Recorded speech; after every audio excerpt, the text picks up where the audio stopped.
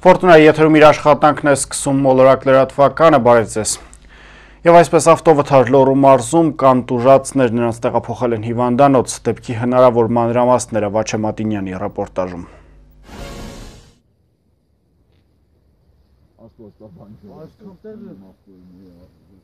Նախորեն խոշոր ավտովթար է տեղի ունեցել Վանաձոր Դիլիջան ավտոճանապարհին ժամը 18:30-ի սահմաններում նշված ավտոճանապարհի 6-րդ կիլոմետրում Շահումյան համայնքի մոտակայքում BMW Մագնիշի ավտոմեքենան դուրս է եկել երթևեկելի մասից եւ 200 մետր գլորվել ձորը։ Այս մասին ահազանգ է ստացվել Լոռու մարզային փրկական վարչության ճգնաժամային կառավարման կենտրոն։ 18:43-ին դեպքի վայր է մեկնել մեկ մարտական հաշվարկ։ Հրշեջ փրկարարները ավտոմեքենայի վարորդ 1984 թվականին ծնված Ալբերտ Մկրչյանին եւ 1986 թվականին ծնված Արթուր Խաչատյանին դուրս են բերել ձորից եւ մոտեցել շտապօգնության ավտոմեքենային։ Վթարի ենթարկված վարորդն ու ուղևորը Հայաստանի պաշտպանության նախարարության են զորամասի զինծառայողներ են վերջիններս հոսպիտալացվել են Վանաձորի բժշկական կենտրոն, որտեղ ուղևորի վիճակը գնահատվել է միջին ծանրության, իսկ վարորդինը ծանր։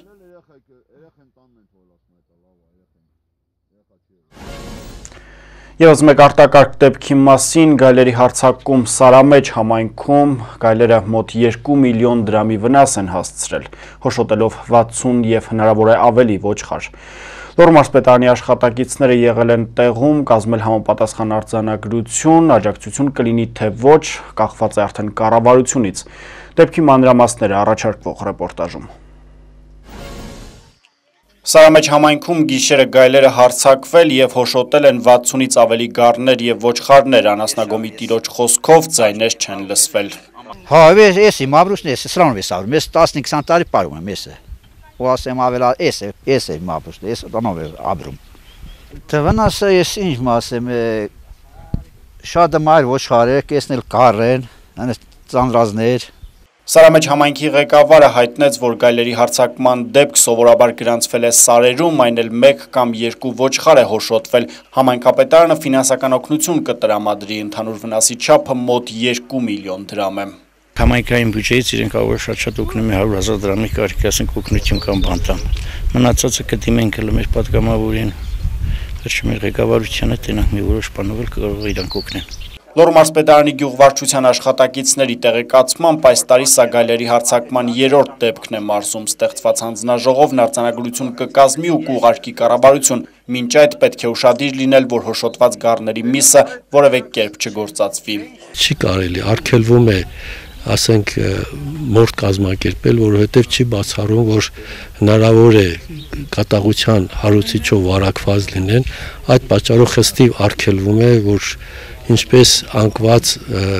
ոչխարները, այնպես էլ իրավոր ոչխարներ մսեղի կսնդի մեջ օգտագործելու համար։ Անասնապահը հոշոտված ոչխարներին տեղափոխելու է գյուղի մոտ գտնվող անասնագերեզմանոց։ Գյուղվարչությունը գյուղացիներին զգուշացնում է անասնագոմերի դռներն ու պատուհանները փակ պահել։ Սարգիս Գոքորյան, Մոլորակ։ Շարունակում ենք թողարկում այժմ կարևոր հայտարարություն սպիտակի համար։ Մեր տաղավարում հյուրընկալել ենք Լոռու մարզպետի խորհրդական Լևոն Ասլանյանին։ Բարև ձեզ, պարոն Ասլանյան։ Բարև ձեզ։ Պարոն Ասլանյան, խոսքը վերաբերվում է բնակարանների հետ կապված հայտարարությանը, ինչի մասն է խոսքը, խնդրում եմ մանրամասնեք։ Խոսքը գնում է սպիտակ քաղաքի երկրաշարժի հետևանքով բազմաբնակարան շենքերում բնակարան կորցրած եւ մեկ սենյակի հավակնող ընտանիքներին մեկ սենյակի հավակնող ընտանիքներին կառավարության համապատասխան որոշմամբ տրամադրվում է ուղակի ֆինանսական աջակցություն յուրաքանչյուր ընտանիքին 4.5 միլիոն դրամ։ Ծրագրի շրջանակներում մենք ունենք 50 շահառու ընտանիքներ, նշված որոշմամբ մարզպետարանին հատկացվել է 225 միլիոն դրամ, որը բաշխված է հետևյալ կտրվածքով. երկրորդ երամսյակին ընթացքում 45 միլիոն, 10 շահառուների խնդիրը արդեն լուծված է եւ նրանք ստացել են ուղղակի ֆինանսական աջակցություն։ Երրորդ եւ չորրորդ երամսյակներում համապատասխանաբար տրամադրվում է 90-ական միլիոն դրամ, այսինքն 20-ական ընտանիքների խնդիրը լուծելու համար։ Որպեսզի գործընթացը հուլիսի 1-ից ավելի լավ եւ արագ կազմակերպվի, Խնդրանքը հետևյալն է մեր շահառու ընտանիքներին։ Այն է, որ ընտանիքի անդամների հաստա անձը հաստատող փաստաթղթերը, անznագիր կամ ծննդյան վկայական բնօրինակները եւ պատճենները ներկայացնել Սպիտակի քաղաքապետարանի բնակարանային ֆոնդի բաժին։ Մյուս փաստաթղթերը նույնպես պետք է ներկայացվեն այդ բաժին, շարուն իր անվամբ բանկում, ցանկացած բանկում նախորոք բացում է ծպահանջ ավանդային հաշիվ։ Այդ հաշվի վրա էլ պետք է փոխանցվի նշված գումարը։ Երրորդը, եթե ընտանիքի որևէ մի անդամ բացակայում է հանրապետությունից, ժամանակը թույլ է տալիս այդ գործընթացը կազմակերպել, ապա բացակայող անձը պետք է ներկայացնի լիազորագիր ընտանիքի անդամներից որևէ մեկի անվամբ։ Չորրորդը յուրաքանչյուր ընտանիքի կողմից տրվում է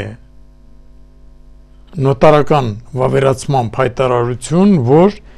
ուղղակի ֆինանսական աջակցություն ստանալուց հետո հետագայում այդ ընտանիքի կողմից պետական եւ տեղական ինքնակառավարման մարմիններին որևէ պահանջ բնակարանի վերաբերյալ այլևս չի ներկայացվում։ Անհրաժեշտության դեպքում պահանջվեն այլ փաստաթղթեր, բայց հարցը նրանում է, որ այս գործընթացը ավարտվելու է մինչև սույն թվականի դեկտեմբերի 21-ը եւ լավ կլինի, որ նշված փաստաթղթերը արագ ներկայացվեն նորից եմ կրկնում Սպիտակի քաղաքապետարանի բնակարանային ֆոնդի բաժին, հետո մենք կհանդիպենք շահառուների հետ Սպիտակ քաղաքում կամ հունիսի 3-րդ դեկադայում կամ հուլիս ամսվա առաջին 5-օրյակի ընթացքում Ես ուզում եմ այսքանը տեղեկացնել մեկ սենյակի հավակնող շահառուների ցանկում ընդգրկված ընտանիքներին բոլոր հարցերով քաղաքացիները կարող են դիմել Սպիտակի քաղաքապետարան Շատ բարի հիշեցնենք, որ խոսքը վերաբերում է միայն սպիտակ համայնքին եւ պարոն Ասլանյան կա հերախոսահամար, որի միջոցով կարելի է կապ հաստատել թե ոչ։ Ես կարող եմ տալ իմ աշխատանքային հերախոսահամարը 0322 42229 հարցերի դեպքում կարող են նաև զանգահարել։ Հարցերի դեպքում խնդրեմ որևէ խնդիր չկա։ Ունեք ավելացնելու որևէ։ Ավելացնելու որևէ բան չունեմ, այսքանը առայժմ։ Շնորհակալություն։ Հարգելի հեռուստադիտողներ, հիշեցնեմ, որ զրուցում էի Լոռու մարզպետի խորհրդական Լևոն Ասլանյանի հետ։ Շարունակում ենք թողարկում, այսօր աշխատանքային խորհրդակցություն է տեղի ունեցել Լոռու մարզպետարանում, մանրամասները ներկայացնում է Անահիտ Կարապետյանը։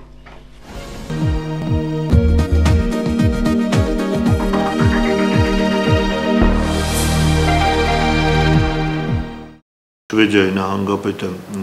արտահայտվեց, որ վերջին 15 տարիների ընթացքում սա առաջին հուշագիրն է, որը ստորագրվում է Լոռու մարզի հետ։ Մայիսի 31-ից հունիսի 1-ը Շվեդիայի Ուպսալա նահանգի նահանգապետ Պիտեր Էգարդի հրավերով պաշտոնական այցով Շվեդիայում էր գտնվում Լոռու մարզպետ Արթուր Նալբանդյանի գլխավորած պատվիրակությունը։ Պատվիրակության կազմում էին Ալավերդու, Սպիտակի քաղաքապետերն ու Լոռու մարզպետի խորհրդական Լևոն Ասլանյանը։ Մինչ օրակարգային հարցերին անցնել Արթուր Նալբանդյանը ներկայացրեց Շվեդիա կատարած պաշտոնական այցի մանրամասները։ Նպատակը նաև նա էր, որ համայնքների միջև նույնպես պայմանագրեր կնքվեն համագործակցության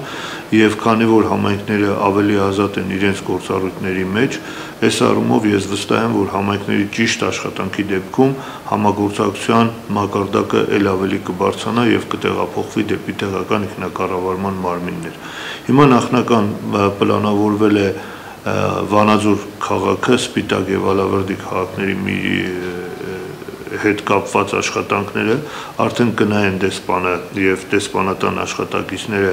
Ուպսալա նահանգի մեր գործընկերների հետ, թե որ համայնքը, որ համայնքի հետ համագործակցության հուշագիր կստորագրի եւ համագործակցությունը կտեղափոխվի նաեւ տեղական ինքնակառավար։ Պատվիրակությունն այցելել է Ուպսալա նահանգի Ուպսալա եւ Ընշոփինգ քաղաքներ, ներկայացվել են Ուպսալայում նահանգային ու համայնքային զարգացման ծրագրերը, քննարկվել երկկողմ համագործակցության զարգացման հերանեկարները։ Պատվիրակությունն այցելել է նաեւ Ուպսալայի նահանգում տեղակայված մի շարք ընկերություններ։ Հանդիպման ավարտին ստորագրվել համագործակցության վերաբերյալ փոխմբռնման հուշագիր, որով նախատեսվում է նաեւ երկու մարզերի միջև համագործակցության խթանում լավագույն փորձի ու գիտելիքների փոխանակման։ Ոլորտները բազմաթիվ են, սկսված туриզմից, համայնքների համագործակցությունից եւ այլն, բայց դա դեռ վերջնական չի, որովհետեւ ցանկացած պահի մենք ի վիճակի ենք համագործակցել ցանկացած ոլորտում։ Չնայած պետք է առանձնացնեմ նաեւ ՏՏ ոլորտը,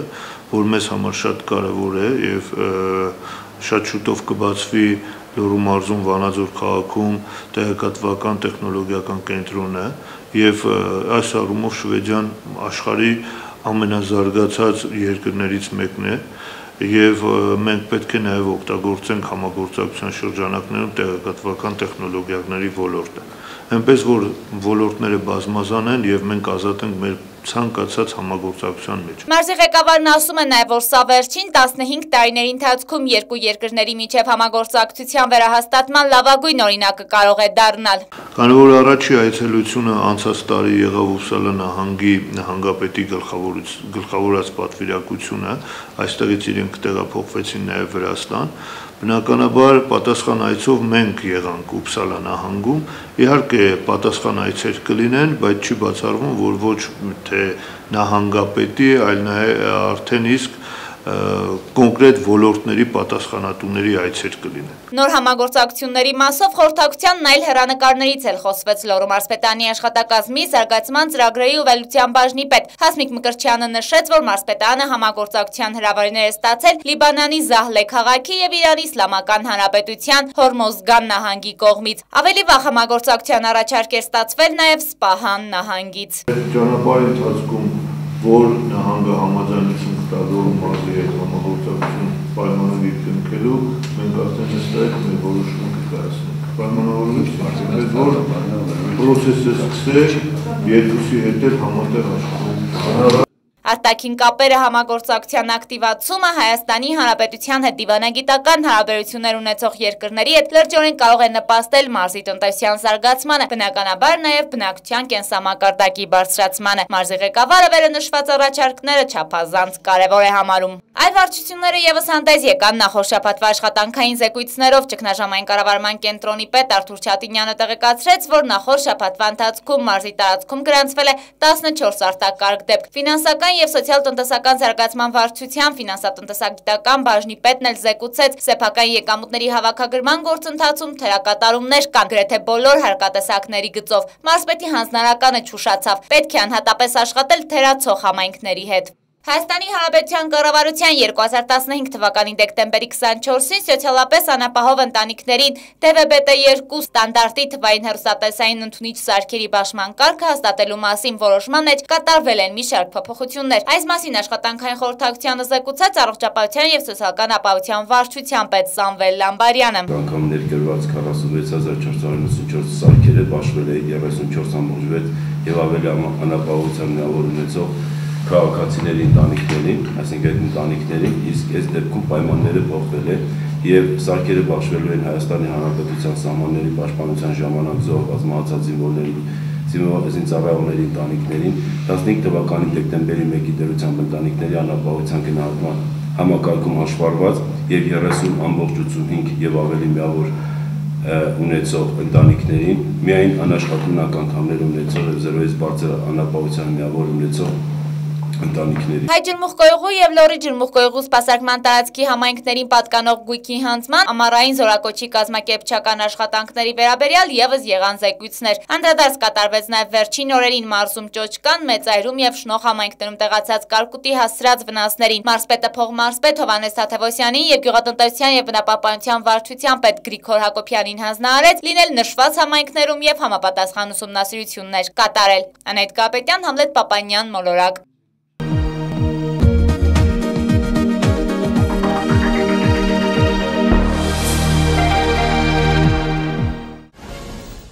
Թողարկման այս հատվածում 911-ի այսօրվա օրագիրը ներկայացնում է իմ գործընկերը։ Հարգելի հեռուստադիտողներ, մենք գտնվում ենք Լոռու մարզային փրկարարական վարչության ճգնաժամային կառավարման կենտրոնում, մարզում գրանցված արտակարգ դեպքերի մասին խոսենք 911 օպերատոր Աստղիկ Խորխմազյանի հետ։ Խնդրեմ ներկայացրեք, քանի հեռախոսազանգ եք ստացել եւ կան սպասարկված դեպքեր։ Նշեմ, որ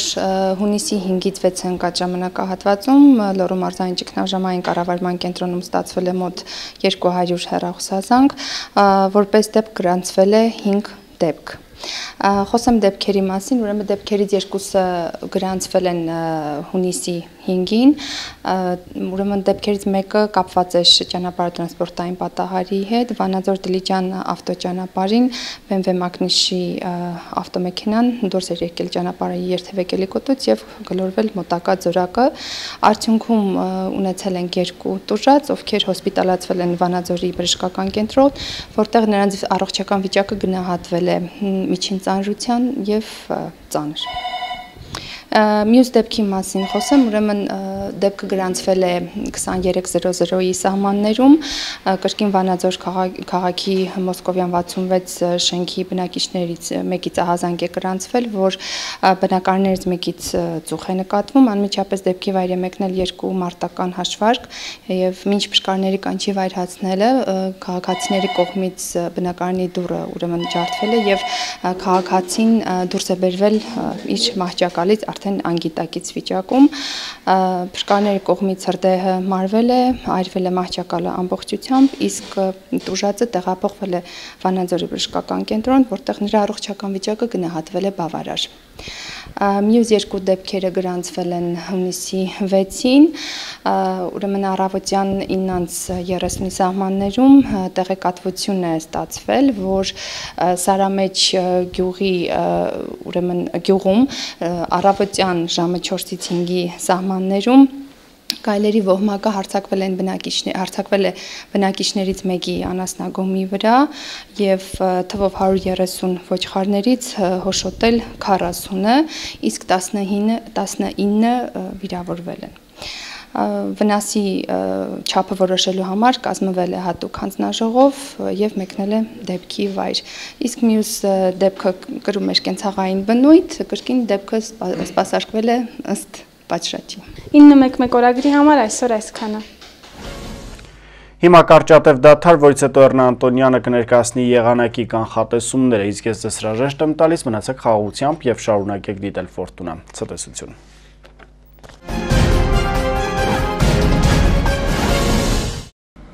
Բարև ձեզ եղանակի տեսության աջակիցն է լյուքս էլեկտրոտեխնիկայի մասնագիտացված խանութ սրահը, այժմ եղանակի մասին։ Հանրապետության տարածքում վաղը հունիսի 7-ին սպասվում են տեղումներ, քամին կլինի մինչև 10 մետր վարկյան հեռագությամբ, օդի ջերմաստիճանը կբարձրանա 2-ից 4 աստիճանով։ Լոռու մարզում օդի առավելագույն ջերմաստիճանը կլինի 19 աստիճան տաքություն, այժմ ջերմաստիճանն ըստ քաղաքների։ Տաշիրում գիշերը սպասվում է 10 ցերեկը մինչև 16 աստիճան տաքություն, Ալավերդիում գիշերը կանխատեսվում է 13 ցերեկը մինչև 19 աստիճան տաքություն, Սպիտակում գիշերը կդիտվի 11 ցերեկը մինչև 17 աստիճան տաքություն, Ստեփանավանում գիշերը սպասվում է 13 ցերեկը մինչև 19 աստիճան տաքություն, Մարսկենտրոնում գիշերը կլինի 12 ցերեկը մինչև 18 աստիճան տաքություն, Երևանում գիշերը սպասվում է 15 ցերեկը մինչև 27 աստիճան տաքություն։ Այժմ անդրադառնանք աշխարհում տեղի ունեցող եղանակային տհաճանակընկալներին։